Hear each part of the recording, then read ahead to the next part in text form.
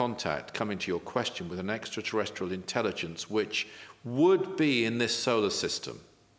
And, and that's clear. And the master, you found the reference. That's a great delineation. In the, in the yeah. master Aetherius, it's in you are Yeah. responsible, isn't That's it? That's right, yeah. And it words the effect of uh, we don't require um, help from outside this solar system. that's right. Um, so, you know, I, I'm not going to be dogmatic and say it's never happened or anything, but the, the source of communication with Earth is done through this solar system, as you would expect. These are our neighboring planets. We're part of the, as it were, the family of this sun. We're very privileged to be so. Mm. Beautiful way to and put it's it, yeah. And it's completely logical that these great intelligences, not necessarily physical as we know it, but within this solar system are the beings. So there you can discriminate very, very quickly, actually. Mm-hmm. Uh, you know, why would they communicate from the Pleiades when they could communicate from Mars or Venus or Jupiter? The Spiritual Freedom Show with Richard Lawrence, where politics is not the answer, materialism counts for nothing, and spirituality will set you free. Richard. Darren. So I thought I'd uh, swing us back around to the UFO topic a bit this week, but also continuing in this kind of theme that we've been exploring around mediumship and channeling. Right. Because in all the, the media coverage of, of this UFO disclosure that's been going on, I, th- I think there's still there's still a lot of open questions, obviously, that people have, and I think one of them that I think is, is certainly prevalent that I've seen is um, the kind of the kind of false claims of ET contact, and specifically relating to channeling, like people saying Okay. that they are receiving messages from people Yeah. from other planets. Now, it's not just something that's happened now, this has been going on for decades, but it's, Yeah. it's really sort of like there's a lot more people, it seems, claiming now, kind of in the last 10, 20 years or so, to be in contact with people from other planets, and particularly with people from other, other you know, star systems, perhaps even other galaxies. Um, and the reason I think this is you know so important for us to discuss on the show is because we have here in the Nine Freedoms probably the you know one of the most profound and important examples of genuine ET contact with Earth, Yeah. um, giving us you know unparalleled teachings, possibly the greatest that have ever been received. I think that has been said, um, and I you know I think these a lot of these false claims take away from and distract from the essential message that we have been given. Um, so I, I wanted to, to talk to you about this today, particularly because of your experience with Dr. George King and your own experience of mediumship of channeling, of course. Sure.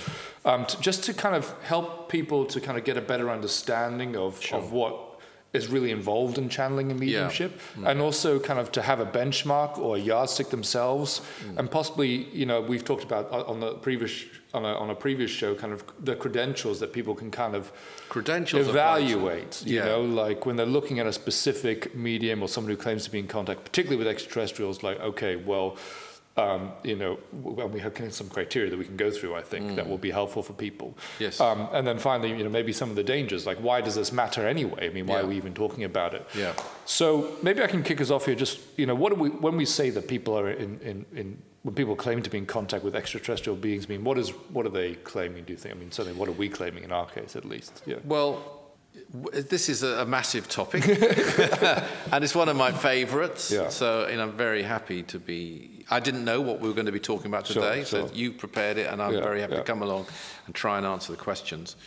Um, what I do know Hmm. is that as a medium or a person who channels, you do need training. Hmm.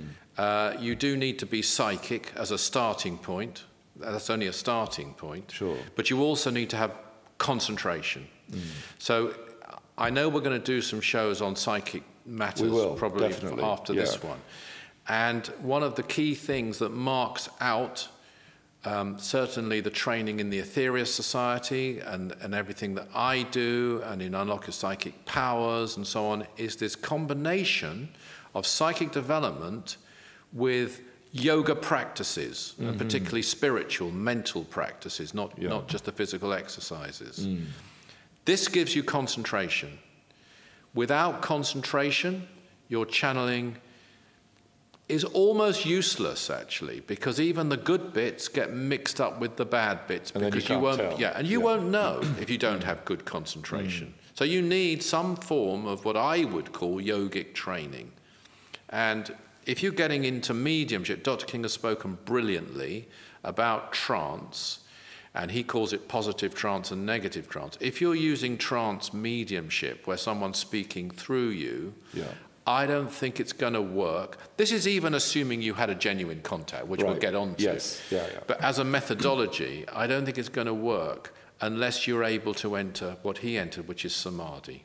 I've tried it myself decades ago, so and, and probably shouldn't have done, but I mm-hmm. did. Found a loss of will and a loss of accuracy mm-hmm. Um, because I wasn't able to enter samadhic trance. If you, if you aren't able to enter samadhic trance, and very, very, very few people have, I've touched my toe in the ocean of samadhi, um, but I haven't used it in mediumship. And that was only on one occasion. And that's after decades of practice and training uh, to, to get to that stage, and, and karma yoga. And I think just to underscore that point, when we say samadhic trance, we mean entering into a state of samadhi. Samadhi is a trance state. And Dr. King was uh, very, I mean, it, it, there's a, what you might call a pec- peculiar in the right sense. It's a peculiarity. It's like a unique use, I think, as far as I'm aware of that state. I'm not going to say no one's ever done it. Right. Um, you know, ascended masters, and I'm sure in one form or another, I'm sure it has been done. Other adepts we know have, have done it. Whether, but whether they've, you know, used it for a voice to speak through their voice, I don't know of any cases using samadhi, especially not with the technicality of the description that Dr. King gives of the state he enters, namely raising the kundalini to a particular psychic center, allowing a beam of, of thought to rest upon that particular center, and then it's translated into sound through his brain. Mm-hmm. It's a very technical description. I've never seen it anywhere else. Yeah. Uh, certainly in public, I don't think it has been demonstrated. And the beauty with Dr. King, you know how he got there, you know his 10 years of training. Again, I've never found anyone else, certainly in the West, who's even claimed to practice advanced forms of yoga for eight hours a day for 10 years on top of a job. Um, it's completely unique training, a completely unique state, a completely unique result. Um, other mediums won't like that. Right. They want to think, well, you can do it, I can do it, that's all, why not? No one's special, blah. Yeah. I'm sorry, people have certain abilities. You know, you only had one Mozart in the 18th century, Yeah. and he said he was the greatest musician on earth. People didn't believe him, uh, and they didn't think he was, but he was. And whose music And, uh, and the other people who thought they were better than him, no one listens to anymore. most Mm, exactly. of them. So, um, the, you know, and, and this is this is what Dr. King is, even more so in the field of mediumship. So I, I would just put him on a completely different level. Um, but one thing I know, there are, you know, in prayer, Yeah. just to get off of it, and you know this very well because you're an excellent prayer, one of our best. And you know, there's two things that, that a prayer director, for example, at, at the Mission Operation Prayer Power, is, is looking for. Um, in training of prayers, you're looking for quality and you're looking for quantity of hours, in other words, the intensity. And the two are linked because the better the quality, the, the stronger the quantity. But you are looking for those two things. Now, I think, this is my opinion, in mediumship, you've got a similar principle. Yeah, okay. You're looking for the quality, which is the elevated uh, nature you're able to achieve. That would be the quality. Yeah. And the other thing you're looking for, rather, I won't really call it quantity, but it would be accuracy. Yes, So yeah. you quality and accuracy Yeah. in mediumship. You can have an accurate medium who hasn't got very high quality. They can accurately get your, your aunt, who shouldn't really be communicating with them at all. She should be moving on and Mm, not worrying about her niece's piano exam Yeah. which is what you're getting Yeah. in some mediumship. Um, but that's happening and, and happening accurately.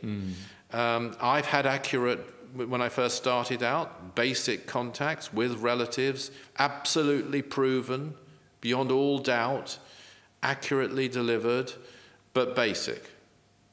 Um, so you, you can have accuracy, but the quality is the other thing. Now, most people, in order to get contact, coming to your question, with an extraterrestrial intelligence which would be in this solar system, and, and that's clear. And the master, you found the reference. That's a great delineation, In the, in the yeah. Master Aetherius, it's in You Are Yeah. Responsible, isn't That's it? That's right, yeah. And it words the effect of uh, we don't require um, help from outside this solar system. Yeah, that's right. Um, so, you know, I, I'm not going to be dogmatic and say it's never happened or anything, but the, the source of communication with Earth is done through this solar system, as you would expect. These are our neighboring planets. We're part of the, as it were, the family of this sun. We're mm. very privileged to be mm. so. Beautiful way to and put it's it, yeah. And it's completely logical that these great intelligences, not necessarily physical as we know it, but within this solar system are the beings. So there you can discriminate very, very quickly, actually. Mm. Um, you know, why would they communicate from the Pleiades when they could communicate from Mars or Venus or Jupiter?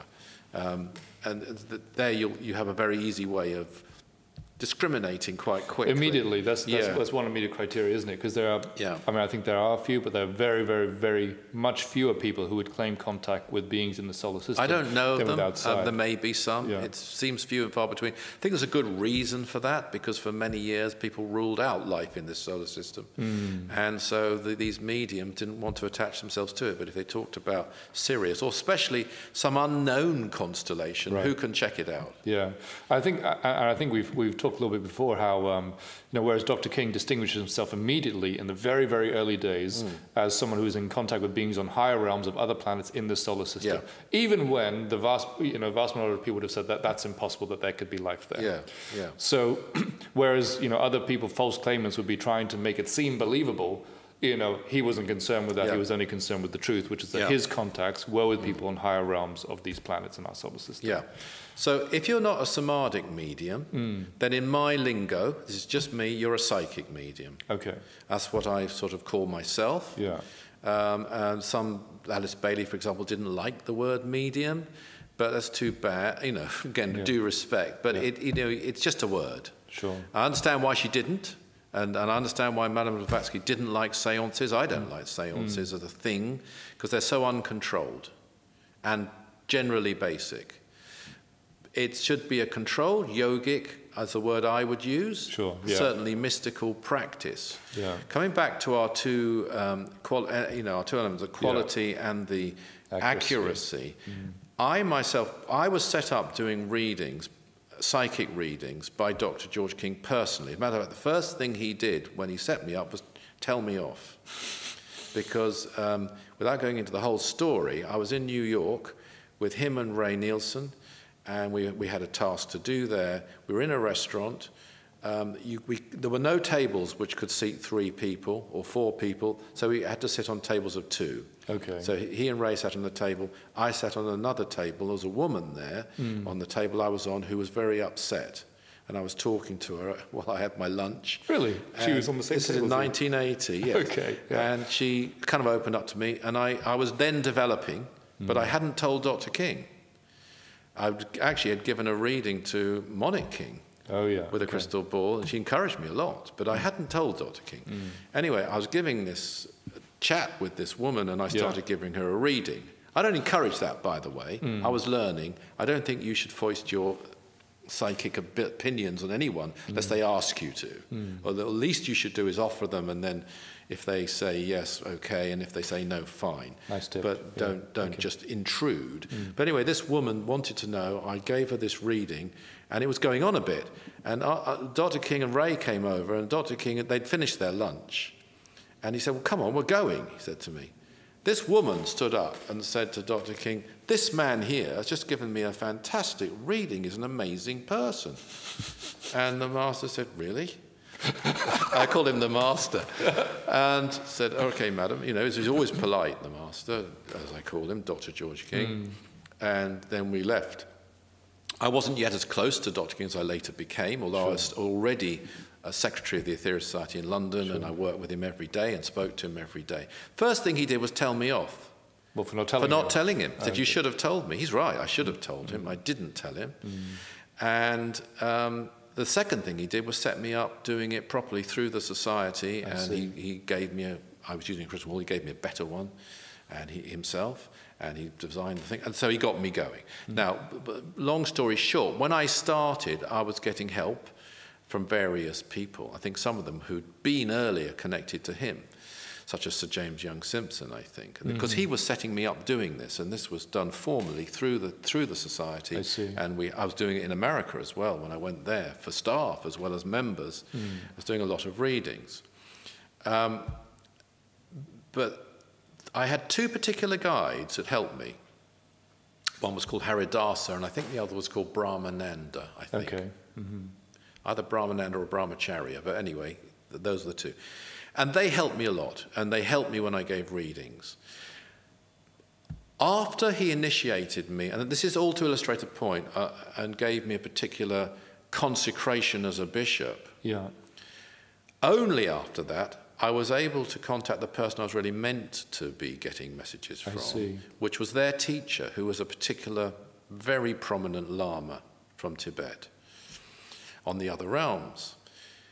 And this is just an example of the quality. So that only then, and even then, one of either Haridasa or Brahmanand had to come to me and say, so and so, he, had a, he has a well known name, will contact you tomorrow at 3 p.m. It was all arranged, and very often it would be arranged just after a ser- like a commemoration service or something I'd taken. Okay. So the, the, the In your role as quality, bishop, this yeah. is all hmm. about me being in a certain state I where I could gain a rapport with him. Formerly, but prior to that, I'd had to work through his, as it were, his disciples. Sure. I see. And then it Yeah. moved on. I And there's see. a lot of, I won't go into the stories to do that, which are really quite amazing. But he then helped me for many years in, and, and gave a lot of very helpful advice, which, which was useful in various ways. But that's the quality point. And then as you progress, and then um, some years ago, I had a health problem, and I uh, luckily was treated very well, and I got better, but I was told I had to no longer take messages from a particular realm, uh, below a certain realm, and I could only take it from certain higher realms and nothing below. So this is guidance and trying to get your quality up, rather like you might say in coming back to prayer, you're moving from A, when in the old days we had B hmm. to A plus. Now people have to walk in and get double A plus hmm. predominantly. It's more demanding, but then it's more sensitized. They're walking into an environment where their energy is being invoked more. Right. So, but you move up the notches, and you'll know, you know, you can get a, a very good double A plus prayer, but you can get a much, much better double A plus prayer as you develop. Right. And, you know, who knows, some people might be going beyond that, but we don't assess beyond that. Um, at moments, maybe. Um, so this it, it's a progression, and then of course, as you go up, you're able. Then only after that, I was able to get, for example, Francis Bacon and uh, and Dante. Yeah, I think what that illustrates for me is that you know there's like a there's like a track record and there's a sort of like traction. Even you're you're making making progress. Not just that you fell off a log one day and suddenly you're in contact with Yeah. someone in the higher realms. Yes, you or know. you go straight to a, you know, and that's these even say Bacon, Dante, and I even have we've talked about Blavatsky, or I think it's yeah. on a very high realm, but she's not ascended. In fact, I remember having a, a dinner conversation with Dr. King uh, on her, the anniversary of her death. Just the two of us were having dinner in LA, and a book had been written about her, another horrible book denouncing her. There's plenty yeah. of those. She Okay. she certainly went through terrible allegations and and disgusting You said that rumors. message, actually, didn't she? Yeah, Yeah. even, even yes, she did. Even even within her own movement, Mm-hmm. and uh, that's one of the calling cards. If you've never had attacks of any kind, then you, you're not really getting anywhere. Yeah, I would say Yeah. Okay. Yeah. of one kind or another. It might Yeah. Mm. even be within your family. It could come from anywhere, but you know you, you will get that if you're really making progress. Um, and if you and you might get it psychically even. Um, but you have to be that's another topic I think. But you have to be careful. But you might you, if you're doing something really good.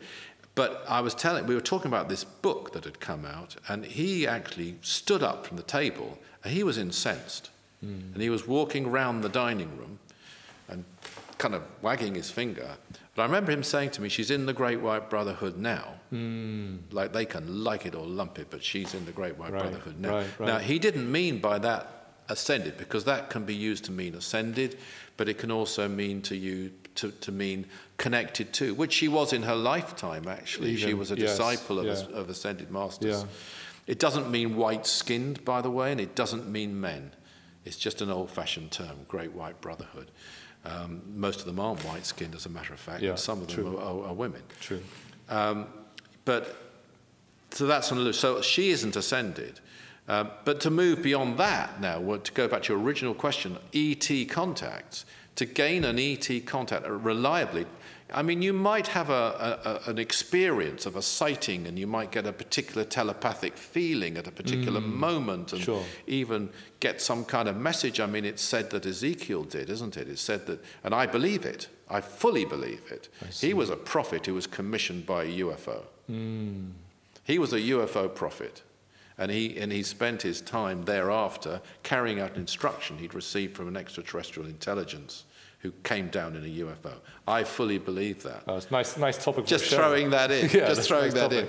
Um, and funnily enough, one of the people over in, in the Congress over there has said not quite that, but something very similar about Yes. Ezekiel. Yeah, so yeah, yeah. It, it, it's uh, you know there's so many great cases through history. This isn't new, but that's a different thing from being a channel where you're receiving accurately messages from a cosmic intelligence. Because there, you would have to have, um, first of all, a great elevation yourself. I mean, if you think about it, you're in rapport. So at that moment, you've got to be on a similar level to the person who's communicating. Yeah. You might not be most of the day and most of your life, but at that you have to be able to induce that state Yeah. where you're in rapport for them to use you in some way. Mm-hmm. And most people just can't do that. If they think they can, they don't even know they need to. Yeah. You just look, and if they don't know they need to, they don't. They They can't rule do themselves it. out They've ruled basis, themselves out. Yeah. And so there's a lot of most of it is nonsense. Mm. I, I, I, you know, it doesn't mean they are nonsense people or they're liars necessarily. Uh, they, they probably believe it, and they might be doing good things. Yeah. You know, I mean, this, so we do have to separate that. I it's, it's, it's that, a yeah. difficult one. I mean, Yeah. you know, there are people who thought they were hearing from the Virgin Mary who weren't. I talked to Dr. King about this because of their Catholic upbringing. yes, it could okay. be a guide. It could be a someone who's passed on who was a, a nun and wears, you know, something that looks to them a bit like the Virgin Mary, and they don't think it's Sister so and so. They think, Sure. and and it's a difficult problem. Do you then? Does the guide then drop their person?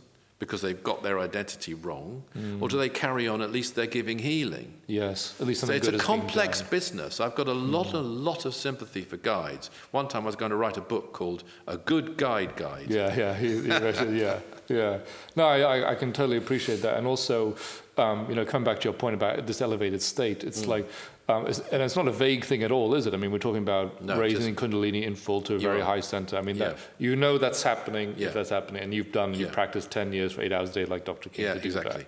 Yeah, Another, another thing I, I, in my limited experience that I have found when I was told about 10 years ago I've got to move up a notch, and it was all around, around the time I had an illness too. It's interesting. That can happen to people. By the way, people, if you've got an illness, sometimes it can be a, a, a moment of breakthrough. It, it can be a thing that you're going through a change that you have, the soul have agreed, to, you know, decided to take on some of your own karma. Hmm. You know, I'm not going to say anything else. It is your karma, but it can also lead. I've met a number of people who found spirituality through either a physical or mental health illness, which they then recover from, and then they change their life, which is what was required. Not, you know, I bet you there's people this will resonate with who are watching this right now. So you know, on a higher level, that can happen. But that, that's an aside. But Sure. I did find, though, when I started to go try and go higher, um, and there was a block on, on those people communicating with me who were lower. So, you know, you had, there was some control over, Yeah. over who you, you're allowed to hear from. Um, it was also kind of more difficult to concentrate in a way because it was so As you beautiful higher, as you go higher. This is just my limited experience, and that's on that's not ETs. That's Yeah. people on other realms. Yeah. Because it's such a beautiful energy Mm. that you almost want to drift off and just just enjoy it and go into a sort of semi-blissful, peaceful condition around it. I see. And you're not there to Rather do than that. do that, Yeah, yeah, you, you've got to concentrate and get the words. Yeah.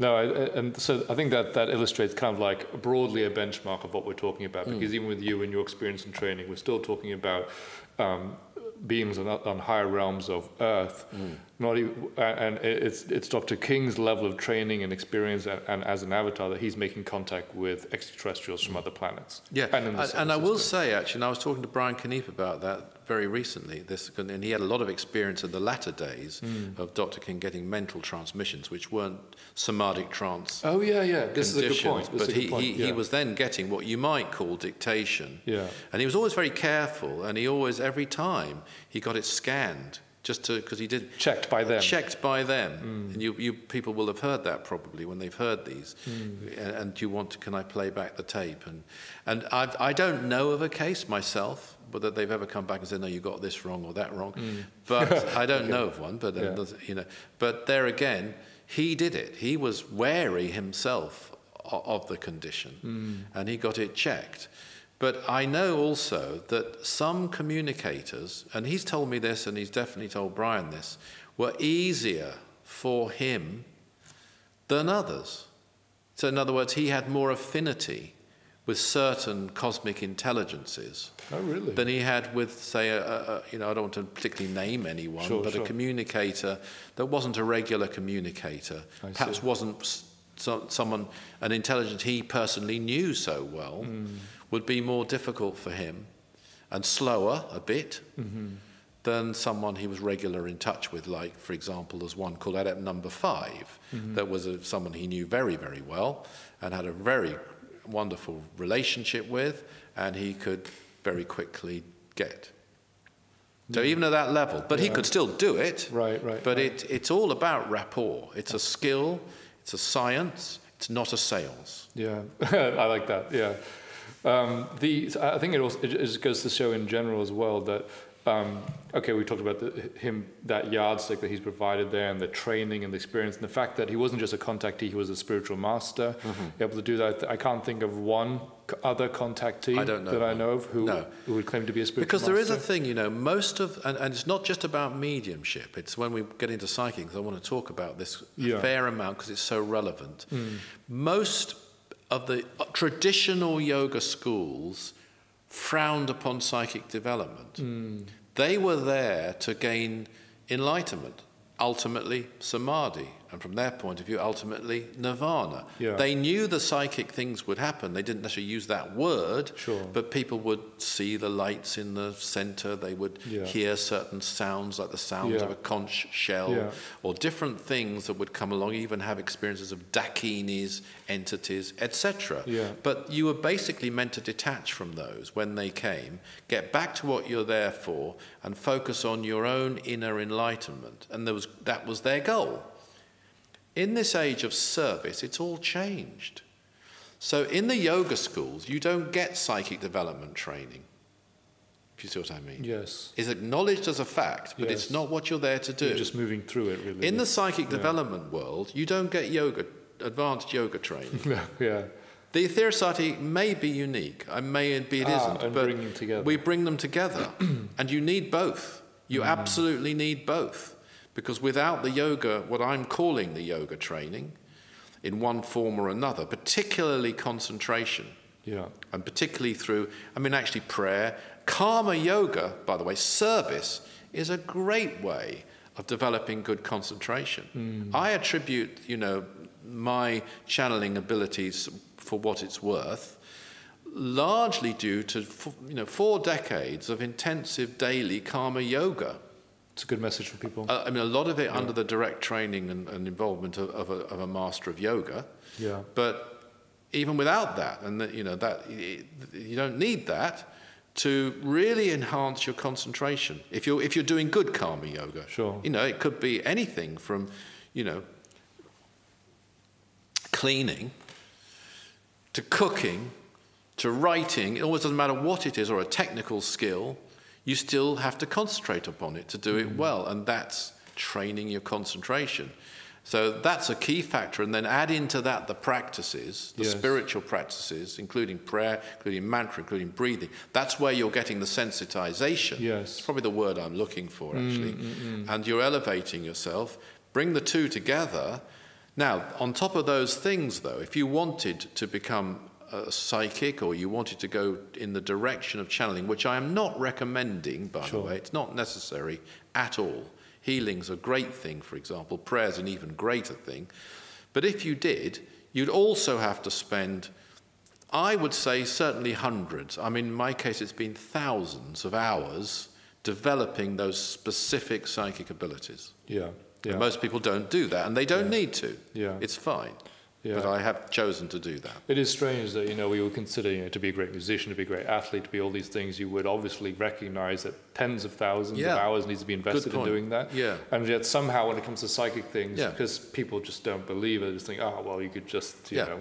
And they did that with prayer. Hmm. You know, the people would think, well, as long as I say the, the you know the Nunc Dimittis or you know whatever the prayer Yeah, was, you know, I can I can be thinking about fish and chips and the laundry, but I'm saying these words I've, I've prayed, Right. and right, they right. literally were doing that. Yeah. It was just a ver- verbal thing. Yeah. um, and it has no power. Hmm. Dr. King revolutionized prayer completely. Sure. No one else I know of has, has, has defined and taught prayer in the way he did. Yeah. And he's revolutionized mediumship. He's taken it to a completely different level. And he did it right at the moment when tape recorders were coming into being. Yeah. And so it could be recorded. Yeah. So you have there a body of work. You don't have to guess. You can, ev- you can listen to it as it was given. You can't sort of, perhaps he could put all this together and concoct it. He was sitting there with other people present and, and delivering the nine freedoms. He didn't have any notes. Yeah. And he was coming up with some of the greatest wisdom anyone's ever heard. Whereas even with a, someone like a Blavatsky, and she wouldn't compare and doesn't compare herself to the Nine Freedoms, she's a massive fan, a great exponent, and a practitioner of the Nine Freedoms, I believe, herself. She, there's a lot of mystery around how she came up with the secret doctrine and what mm. she did. She did it in her, her room on her own, and you know there's different things happened, but we don't know. But here you have somebody sitting down delivering the 12 blessings. Now, the 12 blessings, we're told, this is an interesting one, I think, was delivered 52 years earlier mm. than it was meant to be, or I think it was the 12 blessings on mountains. The question then arises how would it have been delivered in 2010, which it would have been? And in my opinion, looking at the world as it is and the people available on the world as it is, I don't think it would have been delivered anywhere near the way it was delivered through Dr. King. You see. I don't think it would have been coming to our two points nearly as accurate as it is, and I think it would have been delivered, this is my opinion only, through the realms, like the book of Revelation. I don't know whether mm-hmm. you know, but it's said to have been delivered by Jesus to an angel to St. John, I see. because that angel would be capable of a rapport, so called angel, with, St. Right. with, with, with Jesus. That Whereas St. John, clearly, the implication to me, as a Mm. somebody who channels, is that he couldn't have got it Directly, direct. Yeah. yes. So it might have been delivered. I'm going to throw out a name here to Francis Bacon. Mm. I only say his name because a lot of it's in 17th century English, and he was the person, or one of the people, but not only behind Shakespeare, but behind the new, the um, King James Bible. Those two are the most read works in English writing, by the way, between them, and it might, let's just say it was delivered t- to him, he would have had to then deliver it to someone who could channel Francis Bacon. Right. By the time you, and that would be dictated. And you'd have a much lesser version. Never mind the fact that without Dr. King pre- present, it wouldn't have become a practice. Yeah. So you wouldn't have heard the voice, you wouldn't have had the accuracy, and it wouldn't be a practice in the form it now is without Dr. King, because nobody would have thought of doing that to it or had the ability to devise this way of performing it. Yeah, and I think both of those examples you gave, the Book of Revelation, and this hypothetical one about the mm. twelve blessings, mm. Um, you know, just points again to how difficult it is to actually establish rapport with an extraterrestrial and receive a contact from them, a channel message from them. Yeah. Um, whereas I think people are making almost like making out that this is some is, is almost like an easy thing to do. Or even if they're not making it out as an easy thing to do, they are making that claim Well, without. some of them do. Yeah. No, sorry Yeah. to interrupt you, Yeah. but some of them say it's easy. It's like falling off a log. Yeah, I've definitely seen examples of that, and it's yeah, it's it's very poor, and we can talk about some of the reasons why that's a danger Yeah, as well. I, I say it's not like falling off a log, it's advanced forestry. yeah, that, I remember that last time. Yeah. So it's you know even the people who, who claim who don't claim necessarily that it's easy, but claim to be in contact. I mean, there's still a lot of questions about their training, the level of initiation they receive, the way that they develop their life. You know, whether it's been, you yeah. know, in the, the, example you gave of karma yoga over decades and how that prepares you in terms of concentration. And so, you know, these are all, I think, elements that people can use as yardsticks to determine whether that person may really even be in a position mm. to be able to receive that contact. I quite agree. And I think that brings us to the second part, which you alluded to much earlier in the show, which is if they are even in touch with the being they claim to be in touch with in the first place, mm. which, um, you know, there's, there's, going back to the Master Aetherius, I know that another one of the, the quotes that he gave was that he was saying that a lot of people who, who believe that they're in contact with extraterrestrials are in fact in contact with discarnate entities. Absolutely. It's other, very dangerous, yeah. extremely dangerous. Yeah. And they're having fun it's, it, that's their idea of fun. These discarnate entities, mm. I mean, they're pretending, and they might get off on it on an ego basis. Yeah. And they might, you know, they, they could uh, also want to cause confusion and damage people like us, people who, Dr. George King, who has a genuine contact, if there's a total melee of confusion out Absolutely. there, and they love confusion, yeah. then people just lump him in with everybody else, and he's not. And, and I think everybody who claims to be a medium should tell us their track record mm. and why we should believe them and what training they had. That would be one thing. What sort of life they have led. Um, doesn't mean they've got to have been led a perfect life. I mean, I, for one, definitely have not. Mm. But there's got to be some indication of dedicated spiritual training through the decades, in most yeah. cases, I would say, yeah. and regular and consistent. Yeah. Um, you know, that's, I don't want to be dogmatic there, there could be yeah. exceptions, but if you're looking for real accuracy, that's what you really would like to see. Yeah. And then, of course, it's the quality and the caliber of the content yeah. as well. So those two things. Yeah, no, I think that's a, that's a really good um, affirmation there, what to pay attention to. And I think just coming back to some of the dangers, I mean, um, as you say, if you've got this whole melee of confusion, I mean, basically, it's it's it's quite it's, deliberate. It's quite and deliberate. quite deliberate. It's taking people away from genuine contacts and mm. teachings, which can help with the ultimate cause of peace and enlightenment on earth. And so that's that's already a, a, problem there, misleading people with false teachings. I mean, you could be deluding yourself with false ideas, you know, as someone who claims to be a channel, and that's mm. not only bad for yourself, but anyone else that therefore you impact with that false teaching. Um, and, and, but I think the most important one is devaluing real context, devaluing real teachings like yeah. the Nine Freedoms. Yeah, and yeah. They're, they're set out to do it. I mean, mm. there are some extremely dodgy cults out yeah. there. Yeah. Um, I'm not going to name any of them, but I can think of one in particular, uh, which is gives a tremendously bad reputation to religious, new religious organizations. And this mm. is meant to impact on another organization like the Aetherius Society, which is not a cult at all, mm. completely open organization.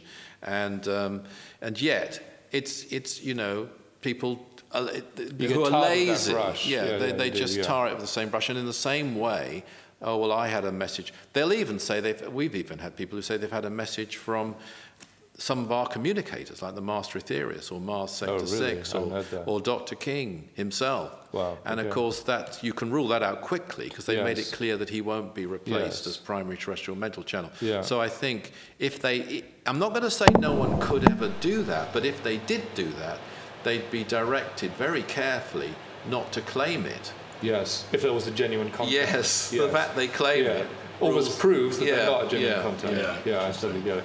Well, I think um, just just kind of like bringing us to a close here. I think that you know, the, I think the great examples that you gave in terms of the things that people can look to in terms of the credentials and sort of yardsticks that anyone you know can evaluate any you communicate with. I think one of the most interesting for me is that you know if they claim in contact with anyone from outside the solar system, very unlikely to be true. Yeah. If there's someone who has not had decade, you know, at least the training that Dr. King has had, very unlikely to be in contact with elevated um, beings yeah. from the worlds, um, and you know, more likely to be in contact with a discarnate entity or someone pretending to be somebody else, yeah. or even deluding or their themselves. own imagination, which well, is a yeah. mental health condition, right? And they need help. That's right. Such people, and, well, it, and there is a big warning there. Yeah, and the last thing that those people should be doing is offer, uh, purporting to be offering spiritual teaching, which is totally bogus and nonsense. Absolutely. And taking away from absolutely genuine, profound, and important messages that we have been given by beings like Mars Sector 6. Very well put. Yeah. Thank you, Richard. Thank you. Everybody's down here. Thanks for tuning into the show. Now, if you enjoyed that episode, don't forget to subscribe for more wisdom from the Nine Freedoms. If you'd like to find out more about the Nine Freedoms, about Mars Sector 6 by Dr. George King, go to our website, that's aetherius.org. Richard and I love hearing from you, receiving your comments, your questions on your spiritual experiences, and talking about them on the show. So do write to us, share them with us at spiritualfreedom at richardlawrence.co.uk. Always remember that service is the jewel in the rock of attainment. See you next time.